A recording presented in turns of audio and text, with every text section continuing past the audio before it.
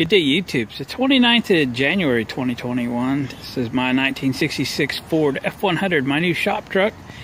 And uh, I did just take it for its little maiden voyage. Made a, just a quick trip around the block. Um, could never get it into second gear. Got to do some adjusting on the linkage, no doubt. On the column shifted three speed. And uh, it was kind of got a noisy drivetrain. Not sure where the noise is coming from exactly, but uh, we'll keep digging in and figure it out. Um, other than that, it performed pretty well. I never really warmed it up, so wasn't much I could do with it. But I think it's time to turn it into my shop truck, and that is putting Glenn's Speed Shop on the doors. I polished out this door, and I just finished polishing out the other door with the buffer so I could uh, do just that.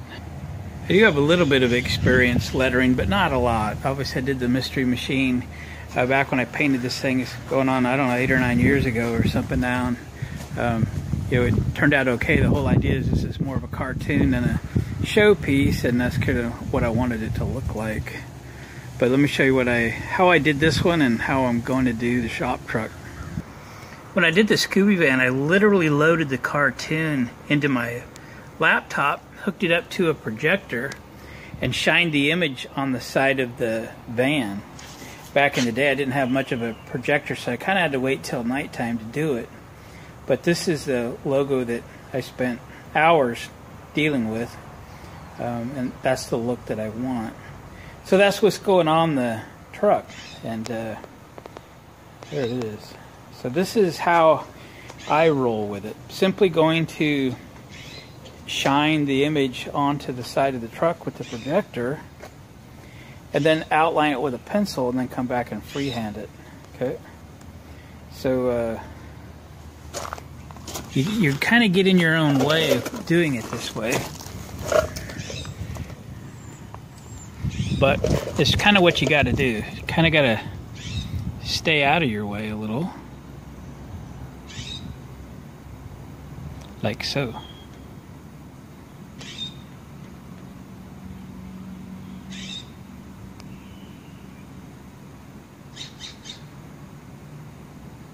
Trying to watch what I'm doing and camera at the same time.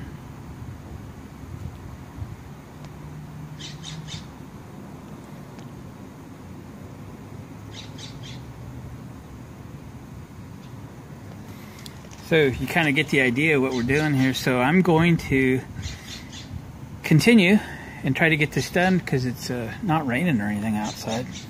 And uh, try and get all these outlines done, at least get that part done today. And then tomorrow or whatever, we can uh, start painting. So I, I actually spent an hour trying to get this stripe off of here. The previous owner got most of the rest of it off. I'm not sure what he used, but I'm starting to run out of ideas. So um, it was tough. So uh, I wanted to get that off before I put paint on here, but uh, I wanted to take advantage of the weather as well. So let me uh, keep doodling here and I'll show you what I've got when I'm done.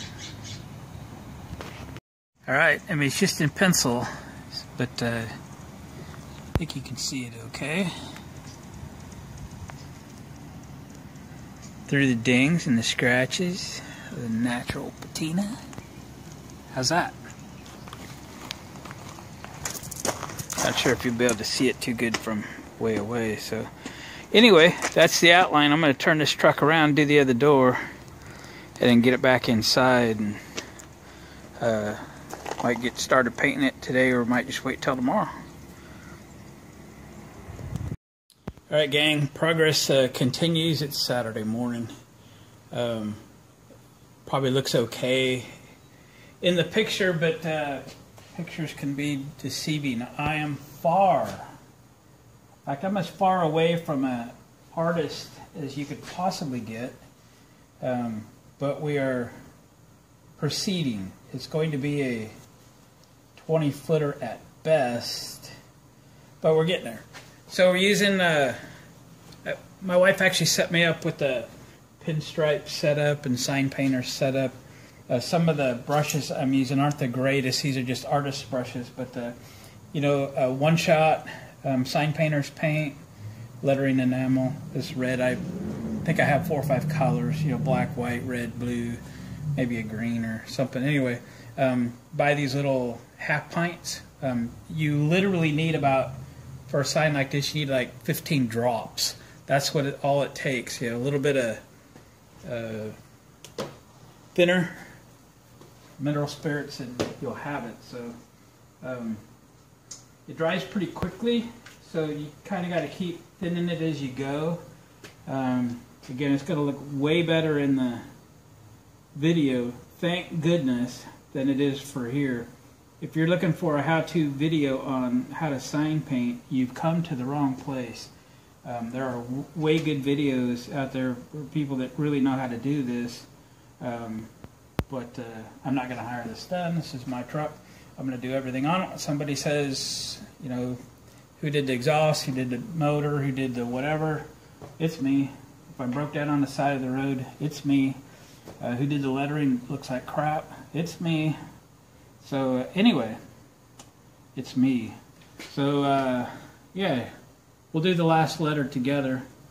Okay, I'm just to reach out here what I can.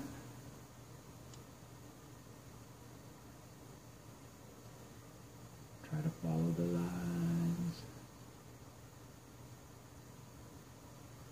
I don't think I colored much as a child. Maybe that's why I'm not much of an artist.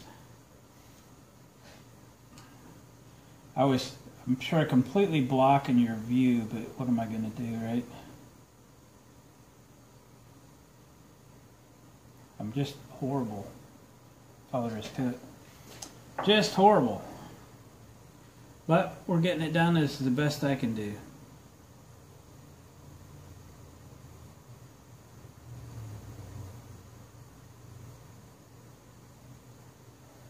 I should order some real decent sign painters brushes.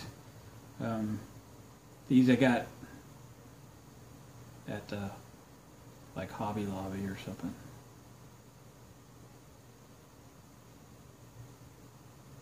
And they're not horrible, but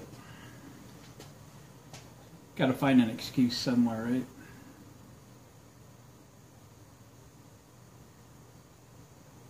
I figure by the time I get this truck done, all the lettering will be a little better than it was when I started. But man, I cannot draw a straight line save my life. So it is what it is.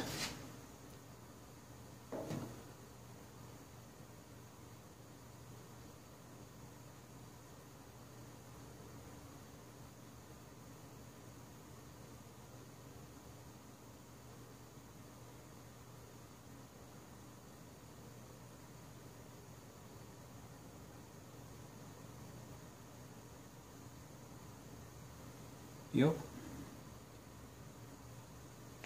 So when you're pouring your paint to do something like this, remember just I've wasted more paint than I've ever used. Um, you just need drops of it.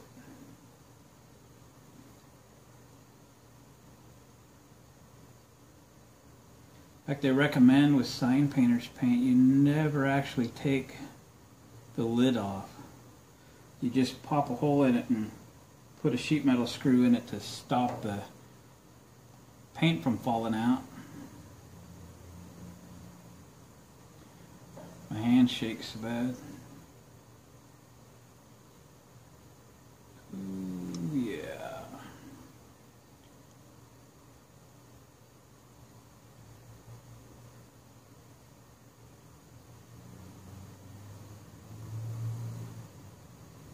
There we go. There's that.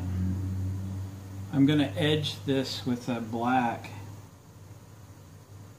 I don't know if it'll make it better if it'll make it worse.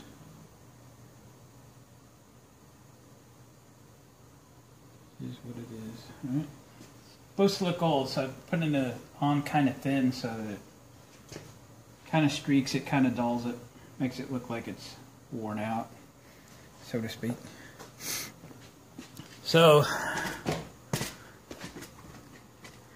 I want to tell you that it's really awesome and it looks great. And it does look pretty good on camera, but hmm, if you see it in the parking lot, don't get closer than about 25 feet and it'll look just like this. Cool. Well, I'm going to uh, probably go to the other side and keep on painting. And uh, then we'll come back um, later in the day. Today, I got uh, a little electric heater going down there, and I got my gas heater going. I've got the shop actually pretty warm. It's not that cold out. Sorry for my squeaky uh, camera stand. Um, oh, by the way, this morning I, I, I stuck this thing out for a little test drive yesterday. I didn't take you along. I apologize for that, but it was really kind of impromptu because I wanted to get it outside so I could use the projector. So I took it for a test drive, and I, I couldn't get this thing into second gear, and it shifted really goofy. Um, so I kind of thought about it last night, watched a few videos. There really wasn't anything out there. I should have done a video on adjusting the linkage on my three-speed column shift transmission, but I didn't. Um, but I did go through the uh, column shift linkage and adjusted it this morning. And I'll just kind of tell you briefly. Um, I disconnected the linkage from the transmission and I found full forward and full backward on both of the shift levers. And then I found full forward and full backward on the linkage, and they were way off. I mean, like an inch off. I'm starting to think that this whole engine and transmission got planted into this thing, and maybe has never been driven with it in there. I don't know. I didn't get that information, didn't get the history when I got this thing. So uh, after I figured out where center was on the transmission, I readjusted the linkage so that I was centered in the linkage, and then I kind of put everything back together. I bent the rods slightly so they wouldn't bump into things and stuff like that. And uh, I'll be darned, it actually shifts pretty good. So I do have a floor shifter for this thing, um, and I probably will upgrade that in time. But for now, the uh, column shifter is working good. All right, let me go to the other side and uh, see if I can improve my artistic ability. All right, we've zoomed ahead to Sunday morning, and I'm outlining the letters. I can honestly say I'm not sure if I'm making them better or worse. I sure wish I was better at this, but I'm clearly not.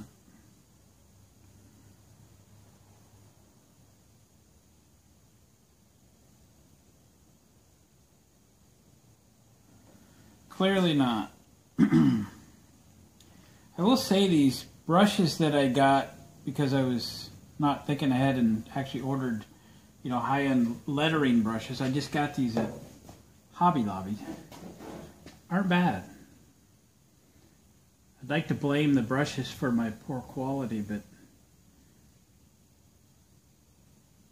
it's not the brushes.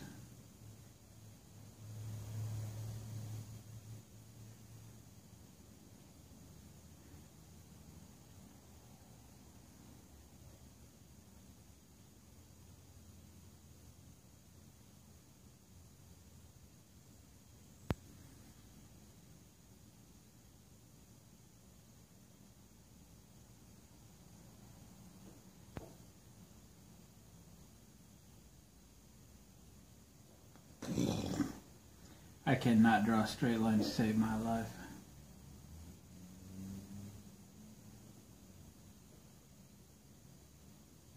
We're just running with it.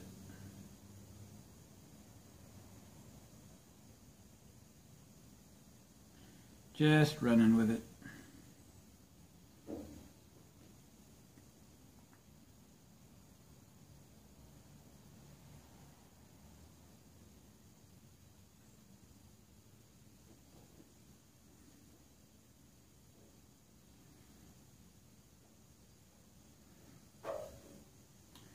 I'm getting a little better, but not very good.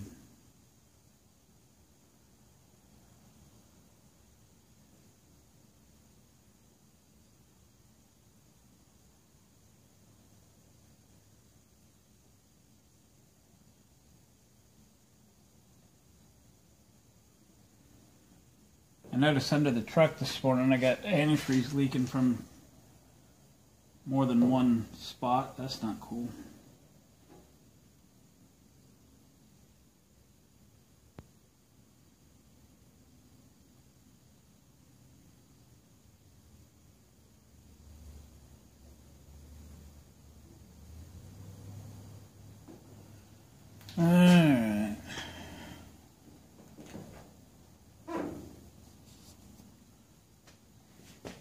S's. I hate S's. Too many curves. Too many curves. Here we go. Last letter.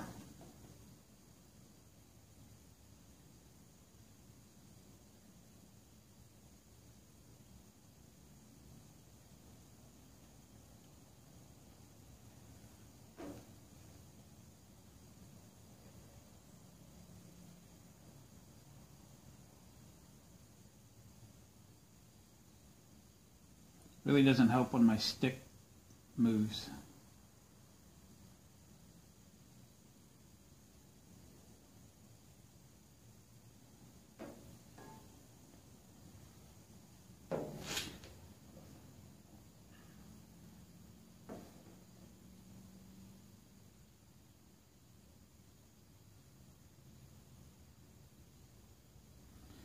Got that one way too wide.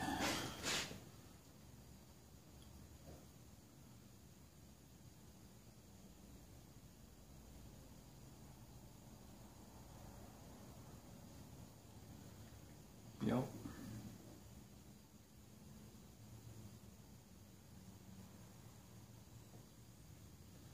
That one's a little wide.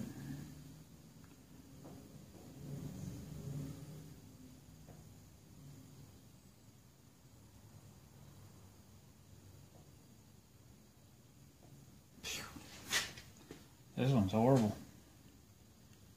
Horrible, horrible. What are you gonna do?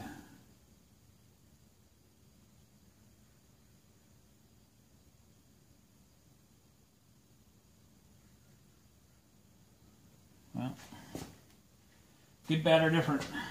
It's done. It's done. Let me give you a close up. No, that ain't happening. That ain't happening. You're not getting very close to this. So this is passenger side. I did the driver side this morning. Driver side. Right. Well, gang, that completes my lettering. I can move on to other things. I what I need to do uh, this week is kind of concentrate on. Uh, well, I need to look see where that water antifreeze is coming from, I guess. But I really wanted to get the uh, aesthetics of this thing kind of detailed, kind of lined up a little bit. Um, truck really needs a good cleaning and polishing, and I got you know a million holes to weld in. So, because um, I need to take pictures of this for my insurance um, so I wanted to make it presentable for that. I don't need to finish everything, but just get it, you know, cleaned up and make it look good in pictures, if you will.